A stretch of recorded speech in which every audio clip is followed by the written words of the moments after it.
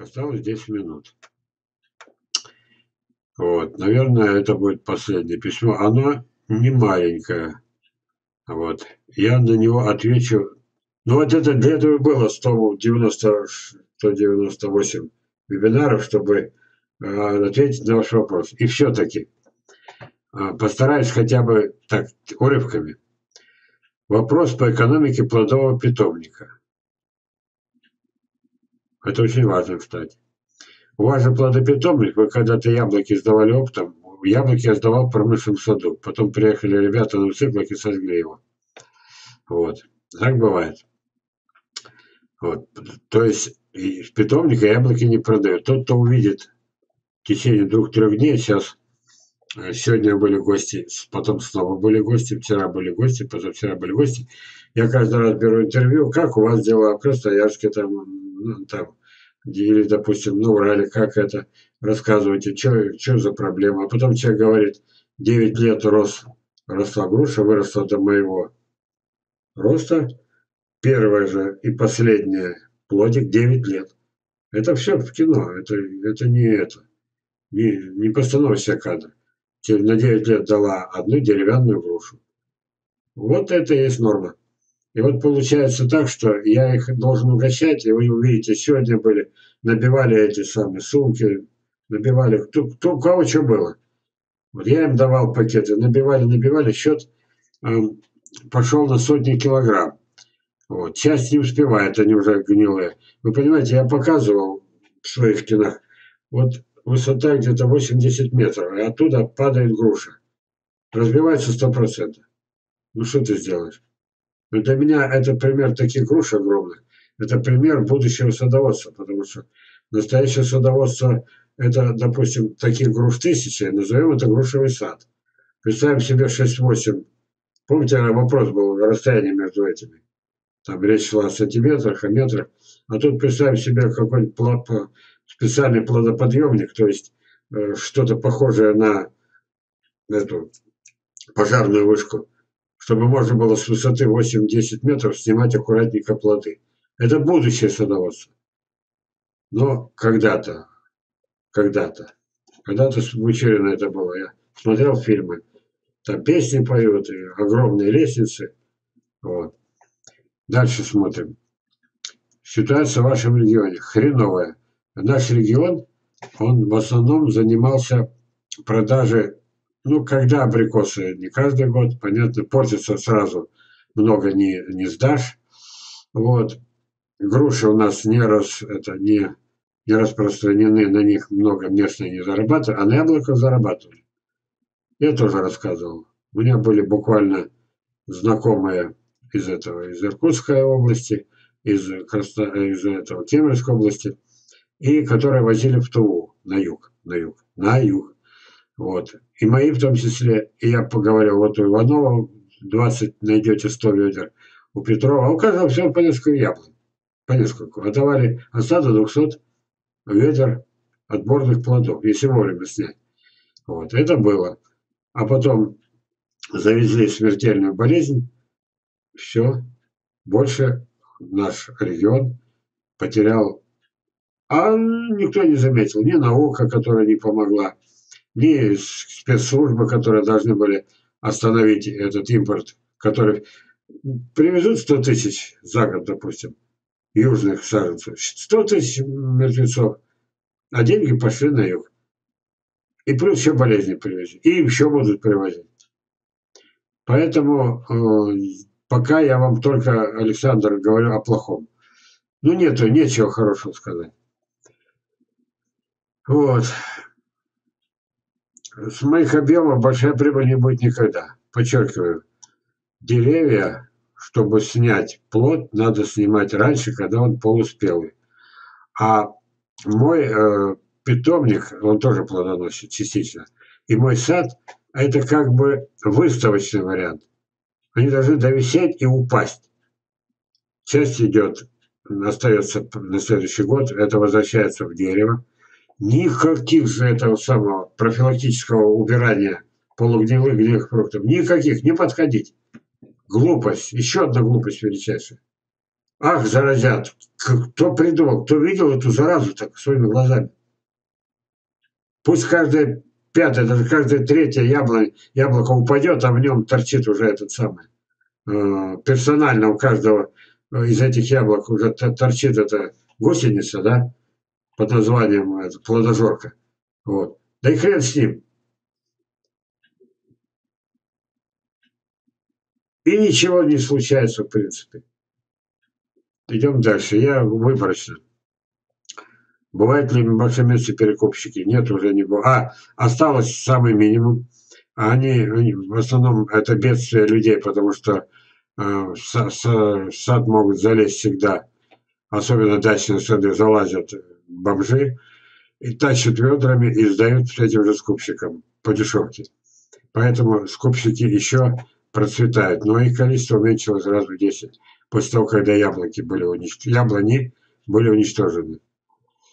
Так. Сложно ли со сбытом фруктов в принципе? Я, я, у меня отрицательный опыт. Чтобы был сбыт фруктов, надо сад садить вроде бы, но абрикосовый ненадежно скачется климат. Даже то, что в этом году был сверх невероятный урожай, для меня это не плюс, а страх Божий. Лучше был бы обычный урожай, я бы знал, что на следующий год снова будет урожай. Пусть поменьше. Но когда пятикратный, мелочь несусветная, в количестве неимоверном. Сейчас там лежат эти тысячи, бесконечные тысячи плодов лежат, огнивают. В саду не собраны. Вот. Мне это не нравится. Теперь конкретный вопрос. Поздний Филиппе может быть транспортабельным абрикосом? Может быть. Но поздний Филиппева, он действительно, ну, в другом месте, может, скажу, он действительно э, поздний, он действительно очень плотный, такой э, твердый. Будучи вполне спелым, он еще достаточно твердый. Вот. Но абрикосовый сад вещь ненадежнейшая, потому что начался раскачивать климат. Начал раскачивать. Вот. И вот на что я благополучный в этом плане, а из последних пяти лет два года было пустых. Один год был полупустой, и только два обильных из пяти лет. Вы представляете, у вас один год плодоносит, а потом пару лет не плодоносит. Что будет? Разоритесь. Даже если у вас будет суперсорт поздний Филиппева. Вот остальное читайте сами, я боюсь уже это. Вот.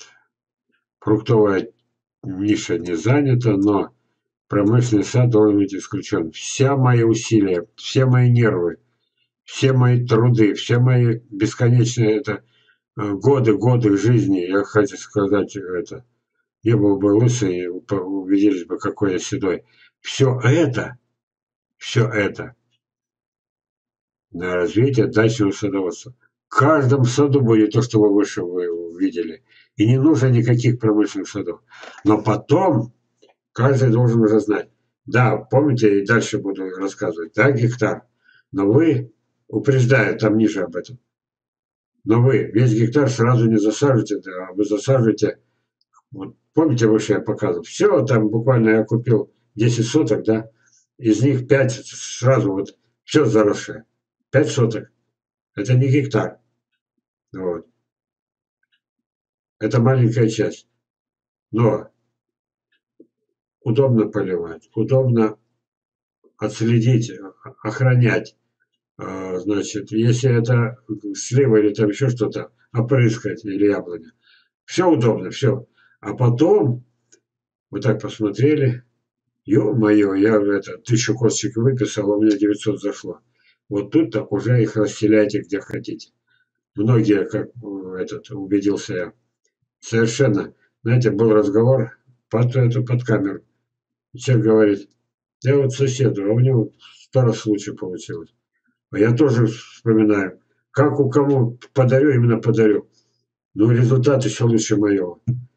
Вот, вот так и развиваться. Или помогать, кто-то аллею собирается там прямо на улицах садить, кто-то обещает в школах посадить, кто-то это самое по соседям раздает, кто-то хочет еще гектары, пока не дешевые. Вот. Но сразу засадить 5-10 гектар не избавилось Боже. Потом наплачетесь. Дачный сад, плавно переходящий в промышленный. Плавно. Я обжегся, и вы обожгетесь. Вот. Пусть это, э, как бы это сказать, пусть это не совсем то, что вы от меня хотели ждать. Ждать хотели. А, так, земля, избыт, погода. Поэтому интересуюсь. Ну, как мог, ответил. Учитывая, что наше время истекло. Вот. Ну, Башкирии легче вырастить. И все же груши легко вырастить, я убедился. Вот если у вас там не заливает Башкирию водой, то груши можно вырастить. И да, да, наша этот страшная эпидемия яблоневая, она до Башкирии не дошла, я бы знал об этом. Так, тоже можно. Персики ненадежно, черешни ненадежно. Сливы. Сливы только если у вас пойдут венгерки. Они не обязательно в каждом районе пойдут. У них своя специфика. Но если пойдут, я в этом году э, собираюсь вам продать косточек, э, допустим, а они же повторяют свои качества, и муки никаких нету, и прививать не надо, и рисковать не надо. У меня в этом году для вас порядка тысячи косточек венгерок уже раскупают. Тысяча косточек венгерок. Можно было бы с венгерками засадить сад такой, какой был в деревне Жертнево, Волынская область, Украина, в котором мы школьники работали. Из венгерок также. Тысячу косточек, если они взойдут, а чем не взойти? Ну, допустим, 900. Целый сад. А они транспортабельные. Вот, пожалуй, чуть ли не все я вам сказал. Знаю, вы против надеяться на выгоду от торговли фруктами своего питомника. Да питомник-то, господи, у меня питомник плюс сад пол гектара, 50 соток. Но меня интересует исключение. Как, когда формат мини-питомник, правовая форма ВПХ, о, я наплакался, с, с это, это самое, я же фермер. Ох, наплакался. Мои слезы прекратились, когда сад сожгли. Это ж так, так они за, за горло берут.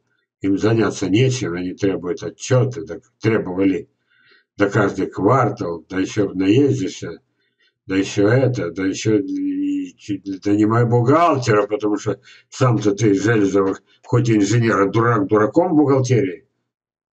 Ох, наплачется, нет. Вот. Ладно, проехали. Вот. Неужели нет примеров или я что-то не учел? Нет примеров. В нашей стране невозможно вырастить сад, и чтобы его не ограбили. Как у меня воровали яблоки, когда промышленный сад еще был. Как воровали. Надо вспомнить. Бегать с ружьем, разгонять их. Еп. Вот. Только дачного садоводства. Но можно потом постепенно до нескольких гектаров. Ну вот и все. О проблемах я сейчас буду говорить. Вы просто читайте, да? Мое время истекло. Вы просто читайте. Сейчас.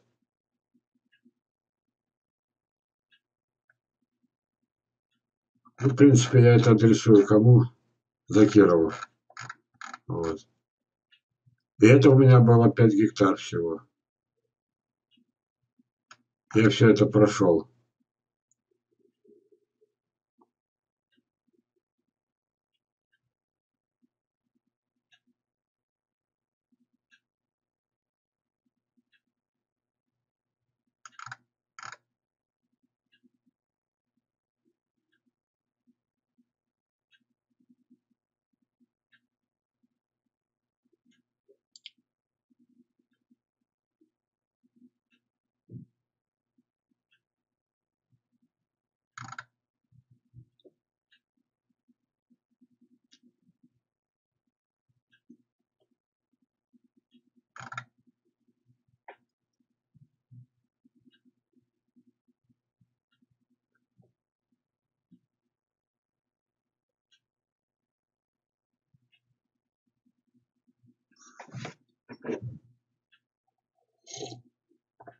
Чтобы мне все это рассказать, расшифровать нужно несколько часов.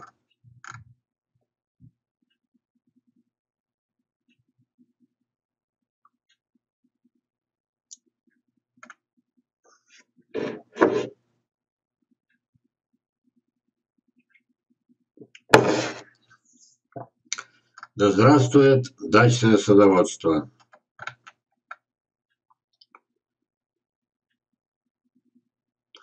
Все, наше время истекло, ребята. А впереди еще, если так продолжать рассказывать в таком же темпе, еще часов 10 надо, чтобы только вот это вот, то что для этого вебинара я готовил. О,